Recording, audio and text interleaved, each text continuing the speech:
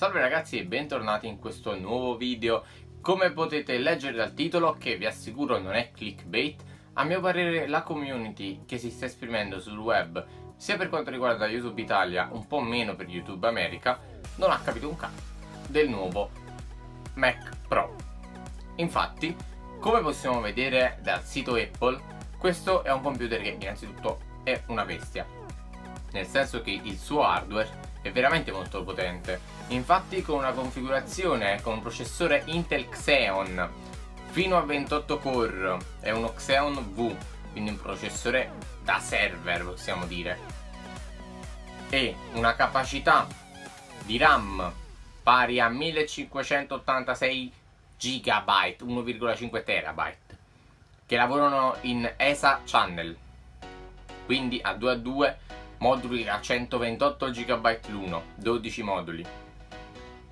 Al fino ad arrivare ad, al supporto delle schede video che supportano fino a 4 GPU con una Vega Duo di seconda generazione che vanta fino a 128 GB di VRAM, quindi della memoria video.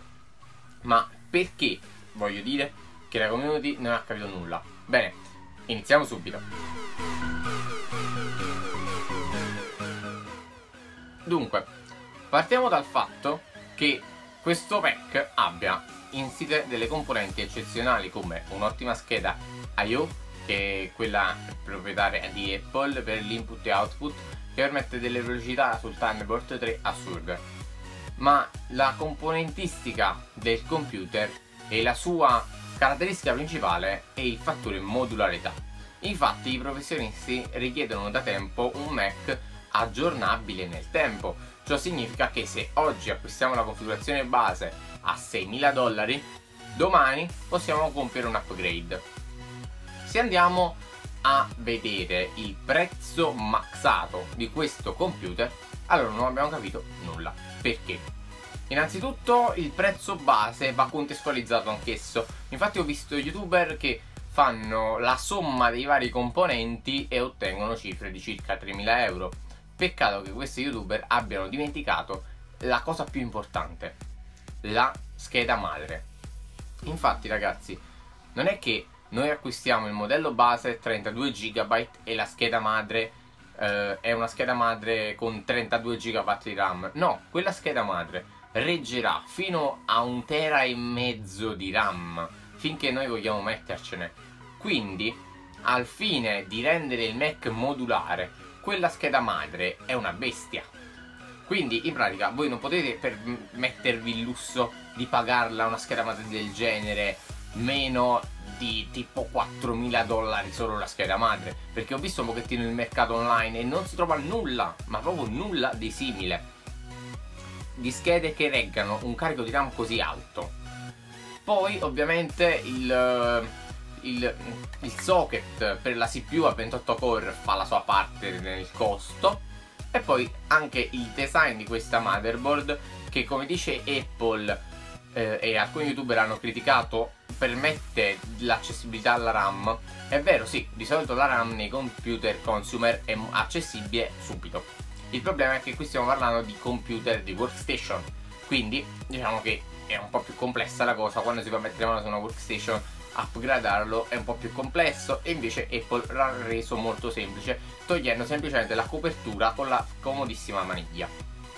Ma quindi perché il prezzo di base è giustificato? L'abbiamo capito. Infatti se la scheda madre costa così tanto possiamo farci un'idea del fatto che il processore octa-core di base costa solo lui 1300 euro. Eh, la scheda video di base costa da sola oltre 500 euro.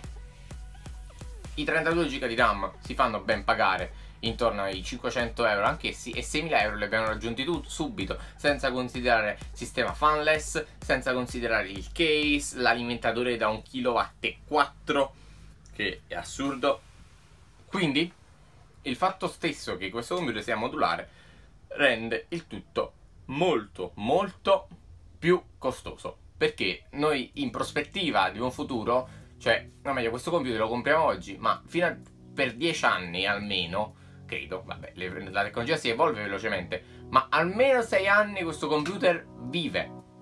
Perché arrivare ragazzi a riempire un tera e mezzo di RAM è impossibile. Anche per i professionisti più estremi è proprio impossibile. A meno che voi non utilizzate questo computer come server, ma questo computer non nasce per essere un server. Comunque, tenendo conto di questa cosa, possiamo andare a vedere i prezzi. Andiamo a vedere ad esempio nel listino prezzi dei MacBook Pro oppure dei vecchi cestini, ovvero i, veri, i vecchi Mac Pro, i prezzi dell'upgrade della RAM. Bene, possiamo vedere che passando semplicemente da un taglio all'altro, con una trentina di giga di scarto, Apple ci richiede la bellezza di 200-300 dollari. 200-300 dollari che sono un prezzo sul mercato globale molto alto perché Apple tende a mettere questi prezzi molto alti però noi acquistando la RAM alla giusta frequenza che è 2933 se avete configurazioni con eh, core superiori agli 8 oppure 2133 se avete le configurazioni in, eh, con octa-core possiamo andare a fare il nostro upgrade personale. Quindi spendendo molto di meno. Infatti per mettere 1586 giga venduti a 10 euro al giga da parte di Apple sono 20.000 euro di RAM ok? Circa. Invece comprandola esternamente questa RAM potremmo scendere molto di prezzo quindi la caratteristica di questo Mac non va vista nella versione maxata come tutti quanti stanno facendo per vedere e quindi ovviamente sembra oh mio dio è un computer di 50.000 euro no va vista nella sua versione base, in prospettiva, in quanto noi acquistando un computer da 6.000 euro oggi possiamo averlo su un lungo periodo e permetterci di fare dei piccoli upgrade volta per volta. Infatti se a breve, tra virgolette a breve, dovrebbe uscire la nuova eh, RAM di tipo DDR5 la RAM attuale DDR4 che monta il Mac Pro scenderà di prezzo. Eh, ma poi oltre a scendere di prezzo la RAM scenderà di prezzo comunque perché dopo dei picchi di mercato che ha avuto ultimamente andrà a calare il prezzo della RAM dato che le fabbriche stanno producendo sempre più RAM e quindi potremmo permetterci un upgrade a un costo minore. Cosa voglio dire con questo? Che semplicemente sul lungo periodo la spesa non sarà eccessiva. Infatti potremmo acquistare anche la scheda video che uscirà in quel momento, potremo montarci ciò che vogliamo a, a, a patto che sia di eh, fabbricazione AMD ovviamente ma possiamo evolvere questo computer. Ed è questa la cosa più importante. Il fatto che sia modulare e che Apple sia interessata a venderne praticamente la versione base. Infatti Apple non è che ha detto che vende la versione da un tera e mezzo di RAM.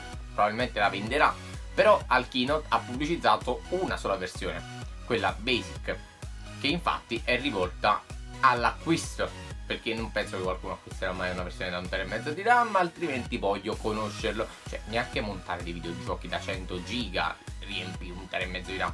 Considerando che poi puoi avere massimo 4 tera di SSD e un e mezzo di RAM però lasciamo stare quasi più la RAM che l'SSD Detto questo ragazzi, io spero che queste considerazioni vi siano piaciute, mi piacerebbe vedere una discussione qui sotto nei commenti in cui andate a dire la vostra al riguardo in quanto magari sia un computer da acquistare o meno. A mio parere per i professionisti e solo esclusivamente per essi è un computer da acquistare se sono già coinvolti nell'ambiente Mac, ovvero cosa intendo?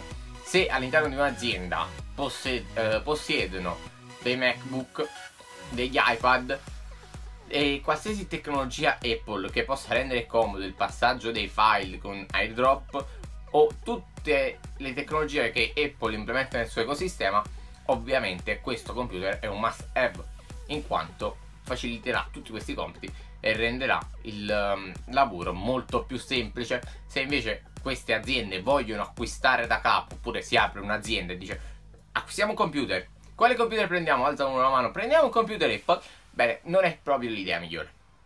Intanto fatemi sapere cosa ne pensate lasciando un commento qui sotto, lasciate un mi piace per farmi sapere che vi piacciono queste considerazioni obiettive del termine in quanto appunto sono state delle considerazioni molto obiettive, infatti non ho detto è il miglior computer, ma bisogna sempre andare a vedere in quale ambito ci si va a mettere. E poi magari iscrivetevi al canale avrei grande piacere. Spero che il video vi sia piaciuto, ci vediamo alla prossima.